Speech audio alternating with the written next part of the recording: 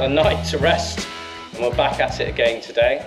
So fresh fuel, we've got the new leads on, the dizzy's all set up, everything looking really good. A little squirt of carb cleaner just down the carb.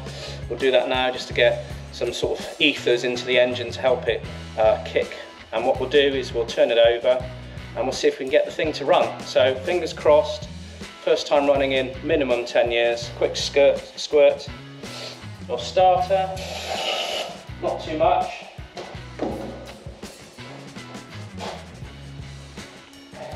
Battery, ignition, starting.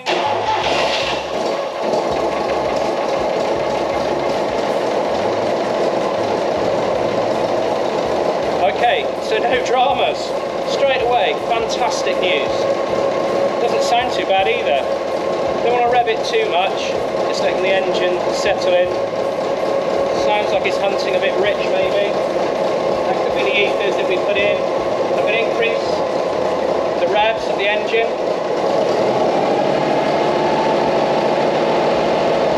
Well, that sounds absolutely bob on. I'm not going to go any higher with it. Let the engine turn over and heat up. Interestingly, we've got wasps coming out of the exhaust pipe, so uh,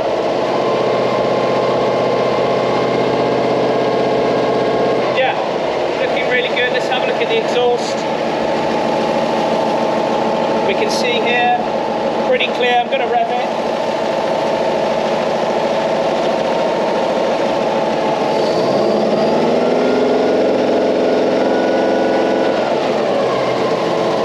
Slight amount of oil in there, but that could be because it's been sat still for a very long time and the oil is slowly leaked into those cylinders because they're obviously laying in a horizontal position.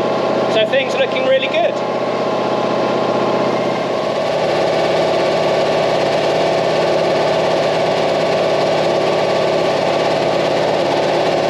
Okay.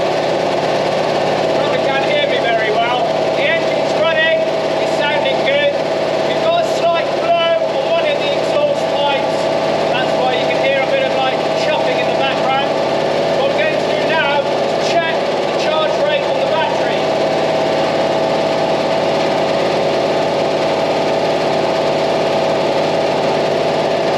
The dials indicate a slight charge, so I'm just going to check.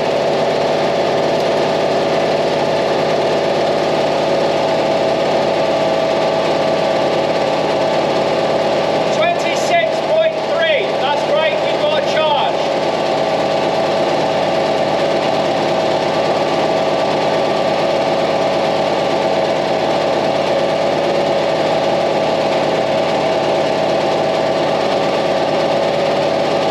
Just doing a sniff test. Smell if anything's burning. Doesn't seem to be.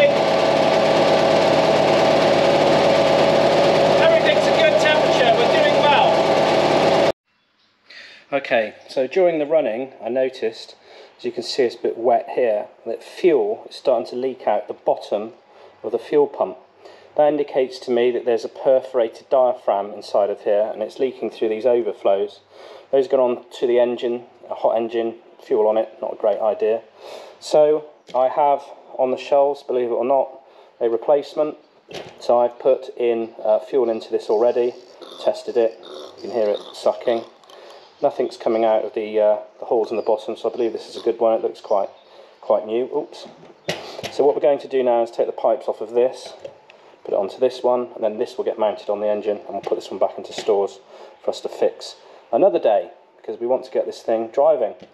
Once we finish this, we'll be having a looking at the brakes and the handbrake, and also there's a couple of loose ends wires floating around at the moment as well. I want to make sure that they're either taped off or earthed to make sure that they don't spark once we're up and running. Welcome to what was once described as the inner sanctum of the workshop. So this is here on a engineer's bench.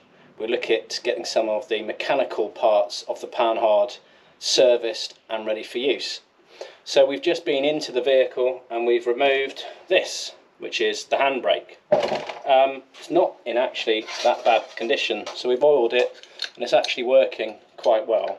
But what isn't working so well is the handbrake I would describe it as a cable, but it's actually not. But the handbrake, well, let's call it the cable, the handbrake mechanism is corroded completely through.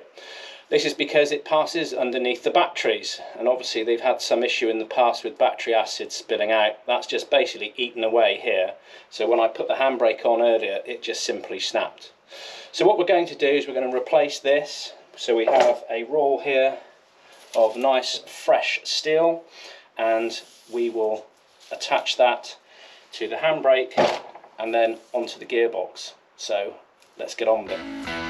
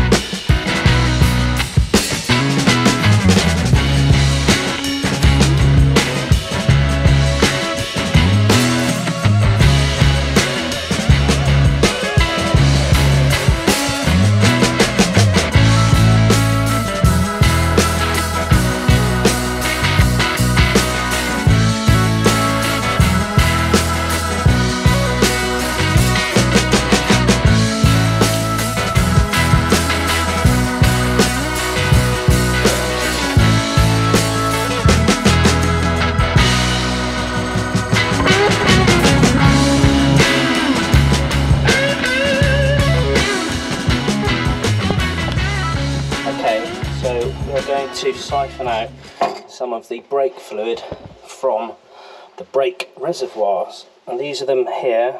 They are between your feet. This is the brake pedal over here and that's the accelerator.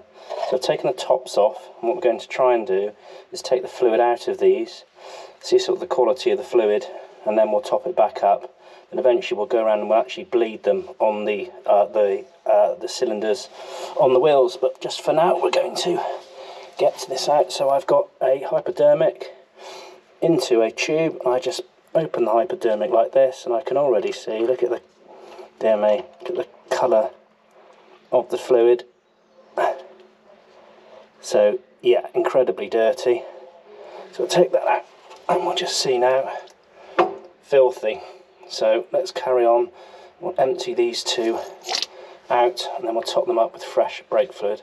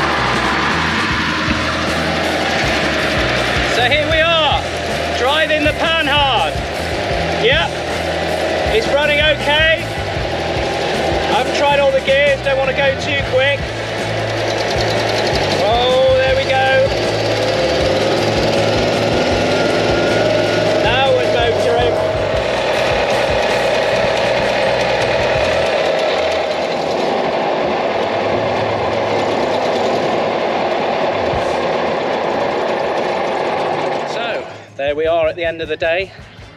One Panhard running and driving. Brakes aren't bad, handbrake's very good, obviously because we've uh, cleaned up the mechanism on it. Um, it's running a bit fast the engine so it needs a little bit of fettling really having a look at the um, accelerator cable I think is sticking inside of the sleeve so we need to get some penetrating oil down inside of it but on the whole it's working so that's not bad after all those years in storage and especially left outside so what we're going to do now is actually clean the thing uh, try and get some of this uh, moss and flaky paint off of it and then we might give it a blow over in white again uh, to make sure that it's uh, back as it was in the UN white.